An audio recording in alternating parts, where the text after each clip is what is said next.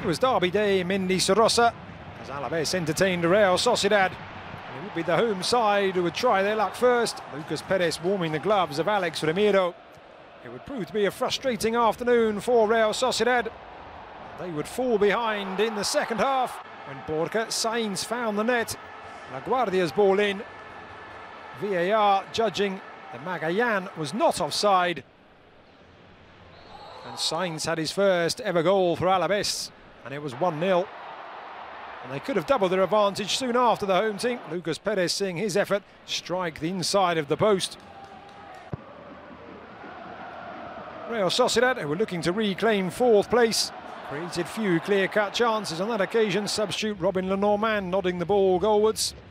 Before, the visitors were reduced to 10 men. Joseba Zaldua being shown his second yellow card for a challenge on Luis Rioja. But the numbers would soon be even up when Tomás Pina was given his marching orders by the referee. And in the sixth minute of second half injury time, some marvellous footwork from Joselu. His shot knocked down by Remiro and Martin Aguirregabiria prodded home. And it was game, set and match as it finished in Mendizorroza, Deportivo Alaves 2, Real Sociedad nil.